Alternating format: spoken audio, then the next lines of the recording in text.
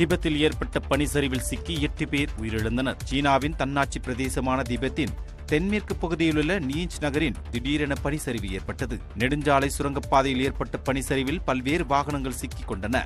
தகவல் அறிந்து நூற்று முப்பத்தி ஒன்று மீட்புப் படை வீரர்கள் இருபத்தி எட்டு அவசரகால வாகனத்தில் சம்பவ இடத்திற்கு விரைந்தனர். துரிதமாக செயல்பட்ட வீரர்கள் எழுபது வாகனங்களில் இருந்த இருநூற்று நாற்பத்தி ஆறு பேரை பத்திரமாக வெளியேற்றினர். இருப்பினும் பனிச்சரிவில் சிக்கி எட்டு பேர் உயிரிழந்தனர்.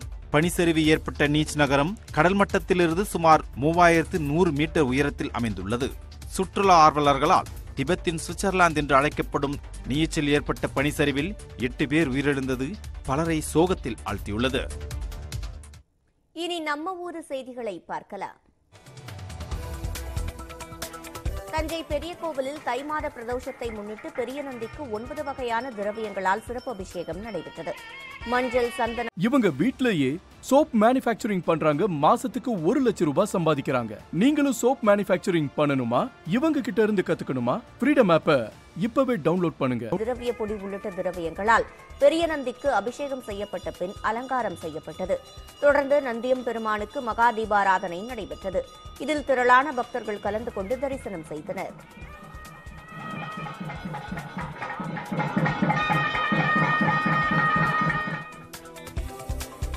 நாமக்கல் மாவட்டம் பள்ளிப்பாளையத்தில் ஏடிஎம் மையத்தில் யூபிஎஸ் பேட்டரிகளை மர்ம நபர் திருடிச் செல்லும் சிசிடிவி காட்சி வெளியாகியுள்ளது. மதியம் இரண்டு மணி அளவில் ஏடிஎம் மைய பின்கதவை உடைத்து மர்ம நபர் ஒருவர் உள்ளே சென்றார். பின்னர் அங்கே இருந்த இரண்டு யூபிஎஸ் பேட்டரிகளை அவர் திருடிச் சென்றார். இது தொடர்பாக அளிக்கப்பட்ட புகாரில் காவல்துறையினர் விசாரணை மேற்கொண்டு வருகின்றனர்.